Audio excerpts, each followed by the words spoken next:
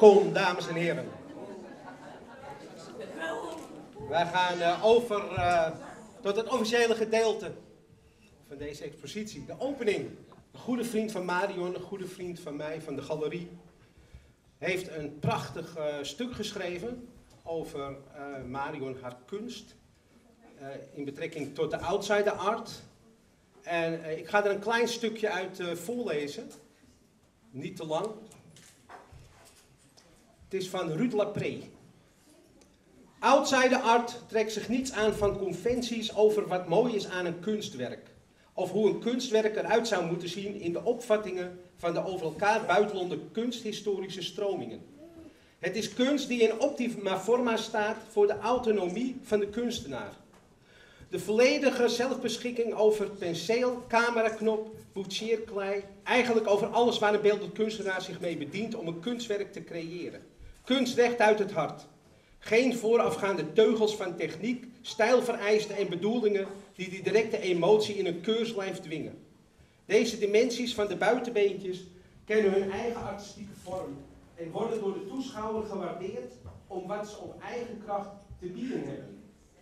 Marion Bloem ademt de kunst van de outsider. Wanneer we ons in het oeuvre van Marion Bloem verdiepen wat de beeldende kunsten betreft, dan hoeft er over één conclusie geen misverstand te bestaan. Haar werk is doordezemd van wat er onder outsider art wordt verstaan. Het is persoonlijk, stroomt uit een primaire emotie en het trekt zich weinig aan van wat geleerd kan worden bij de gebruikelijke programmatuur van officiële opleidingen. Haar beeldend verdient ontegenzeggelijk de barcode van de kunst. Het roept je op tot aandachtig kijken en tot bezinning over haar bedoelingen. Bovendien, bij herhaald kijken neemt je aandacht eerder toe dan af. Je gaat steeds meer ontdekken. Dat zijn de verdiensten van kunst en criteria voor waardering. Ruud Lapré. Ik geef nu het woord aan de muze van Marion, Ivan Wolvers. Ja, ik dacht, ik maak van deze gelegenheid gebruik. Er zijn zoveel mensen dat ik eens uit de school kan klappen over hoe dat is om met een outsider te moeten leven. Want uh, dat lijkt leuk, maar dat heeft ook zo'n schaduwkanten. Het is, uh, uh, je wordt al gauw snel ook meegezogen in het outsider bestaan. En daar heb je dan van tevoren niet op gerekend. Ik, ik heb mijn geliefde ooit op het plein van de middelbare school voor het eerst gezien. En toen dacht ik al, dat is van een uitzonderlijke soort. En dus niet voor mij weggelegd. En uh, ik kan nog precies vertellen wat ze aan had. En ook die keer daarna dat ik er in het Soester Natuurbad zag, in haar bruine bikini, weet ik ook nog precies hoe dat eruit zag. Maar het duurde toch nog vier jaar voordat ik haar echt aandurfde te bespreken. En dan ook nog, nadat ik eerst iemand gevraagd had, ga jij uh, daar eens even... Enfin, maar dit soort hele persoonlijke dingen, daar bent u natuurlijk niet voor gekomen. Het, uh, nou ja, een enkeling misschien, hè. Maar daar ga ik nog eens een, uh, een trilogie over schrijven. Dat komt nog, allemaal tot in de details. Maar het, het grappige is dus dat uh, het leven met Maarten is natuurlijk een enorme verrijking voor me geweest. Want ik dacht dat ik een beetje kunstzinnig aangelegd was. Dat was namelijk zo, ik had een grootvader en die was kunstschilder. En dat was hij al zijn hele leven lang. En, uh, uh, en, omdat hij daar geen droogbrood mee kon verdienen, deed hij in zijn vrije tijd, maakte hij reclames voor heren modebedrijven. En daarvoor had hij, uh, tekende hij zo'n silhouetje en dan had hij een stukje stof van de producent van die kleding gekregen. En dan maakte hij een soort foto van en knipte hij uit erop. En dan met een beetje zwarte verf maakte hij daar schaduwtjes op. Dus dat was ook wel een hele bijzondere manier van kunstbedrijven. En uh, nu was het vervelend, ik was de oudste zoon, dus ik moest ook kunstenaar worden. Dus ik heb jaren geleefd in de veronderstelling dat ik dus wel creatief zou zijn, omdat mijn opa altijd zei, uh, joh, jij moet daarin verder. Ja, bij nader inzien en gezien zijn werk heb ik toch het idee dat hij misschien niet de aangewezen persoon was om mij daarin te stimuleren. Maar ik leefde met Marion en uh, het wonderlijke is, die is altijd bezig. Toevallig was ik met iemand daarover aan het spreken. Ik zei, een output, hè? ja, zei die meneer hier, ik ga het verder niet onthullen wie dat was, dat is vervelend misschien, maar eh, eh, heeft ze dan wel tijd voor jou? Ja, kijk. Enfin, dat is vanaf het begin was ze altijd bezig. Ze was aan het tekenen, aan het schrijven, aan het dichten. Alles waarmee zij zichzelf uit kon drukken, daar was ze mee bezig. En eh, dan ging ik eh, eh, een beetje studeren, want ik had ook wel eens geen tijd. en dan keek ik in de prullenbak en daar zag ik toch een schoonheid aan dingen verkreukeld allemaal liggen. Allemaal tekeningen van haar. En dan haalde ik dat voorzichtig uit de prullenbak, begon dat plat te wrijven en een beetje te strijken soms. En dan knipte ik het uit en hing ik dat boven mijn bureau. En ik was er echt door gefrappeerd, zoals veel mensen wel door haar gezichtsuitdrukkingen en haar zo karakteristieke poses. En er zit altijd iets in, gefrappeerd zijn. Dus dat had ik ook al vanaf het begin eh, dat ik haar kende. En ik heb me nooit gerealiseerd dat dat verder ging dan mijn blinde liefde of zo. Dat ook andere mensen datzelfde zouden kunnen hebben. Totdat Marion eh, ehm, eh, steeds meer de teugels vierde en steeds meer en, en in haar zelfgemaakte ateliers aan de slag ging en het ene na het andere maakte. En mij dan drie uur wakker maakte om te zeggen, Yves, ik heb weer iets gemaakt, je moet eens kijken, wat vind jij ervan? Afijn, ik kan ook bij het slapen, hè, begint wel tegen mij te praten. En dan zeg ik ook altijd ja. En dan slaap ik verder en dan weet ik het gesprek, herinner ik me niet. Maar met die schilderijen, ja. Dat, en ik had soms de hele nacht verder nachtmerries. Want het zijn soms zulke indringende werken dat je natuurlijk er niet aan kunt ontkomen, dat je eraan blijft denken. En eh, nu vind ik het eh, fantastisch dat ze dat dus steeds meer is gaan exposeren. En dat ze nu, eh, nu de, de, dus het, geheim zich openbaart dat ze eigenlijk een outsider is. Want dat is ze natuurlijk ook, hè, want ze beweegt tussen alles door. Hè. Ze is niet bijvoorbeeld Nederlands en niet Indonesisch, maar ergens ertussenin. En ze is niet oud, maar wel jong en toch ook ergens ertussenin. Dat is ook altijd moeilijk te bepalen. En, en dus eh, ze, ze ontsnapt aan elke categorisering. Maar nu, we dan hier, dus dat vieren hier, ben ik ook wel een beetje, komt het, het ergste in me boven, een klein beetje jaloezie. Dat ik dat met u allen moet delen. Gewoon dat u, al die dingen, alles wat er in haar hart omgaat, de kleuren die in haar leven, dat dat niet alleen meer eh, van mij ergens in, in mijn huis is. Dat ik als ik van de keuken naar de wc loop, dat ik dat allemaal zie en dan denk, goh, wat leef ik in een fantastische wereld. De wereld van Marion Bloem. Nou ja, ik zou zeggen, ik wil dus eh, graag u welkom heten in de wereld van Marion Bloem.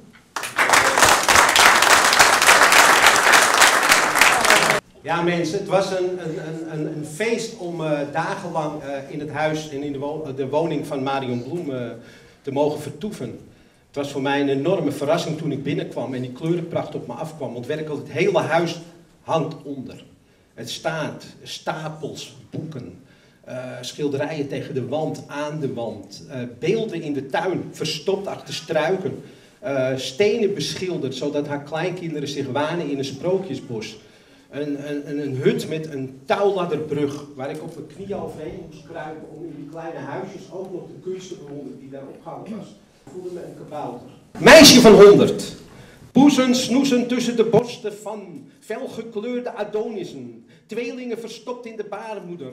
Horen zien in zwijgen in primaire kleuren. Honderden ingelijste penissen markeren het outsiderpad. Slingerend van A naar B, van links naar rechts. Poëzie verpakt in kleine doosjes. Dekseltjes springen open. Kleine witte mannetjes verstoppen zich achter naakte vrouwenlichamen om te staren naar de lekkende vagina's. Penseelstreken, penseelstreken, penseelstreken, penseelstreken. Pak ze maar, die kleine donders. Grijp ze, die kleine donders. Doe met ze wat je wil met die kleine donders. Zuig de kleuren uit de tubes. Zuig de kleuren uit de tepels van de Madonna op het canvas der duizend lusten. Lippen tuiten, tuiten, tuiten. Vogels in de baarmoeders fluiten, fluiten, fluiten. Poëzie verstopt in luciferdoosjes. De schatkamer van kleine gekroonde dametjes. De poesen mouwen, mouwen, mouwen. Houden, houden, houden, houden, houden, houden, houden van Marion Bloem.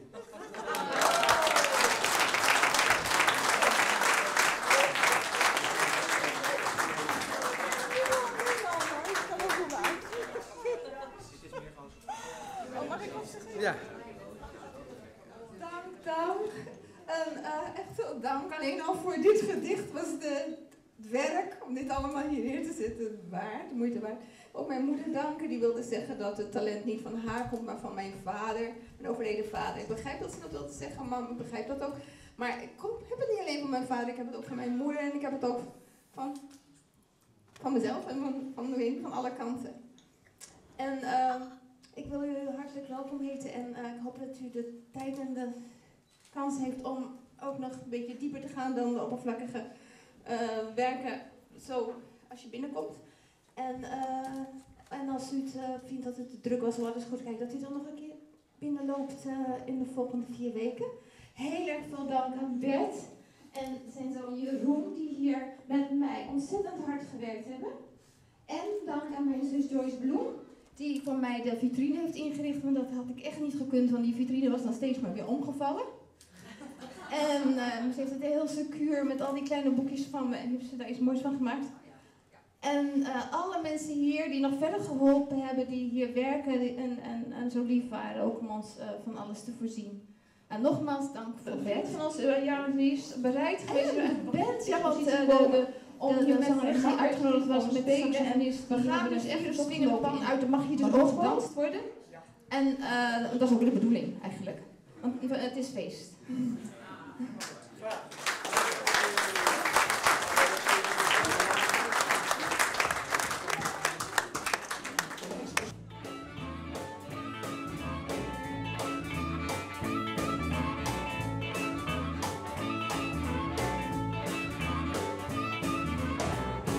kidding, I'm ready to fight, and I've been looking for my baby all night. If I get her in my boom, out go the lights.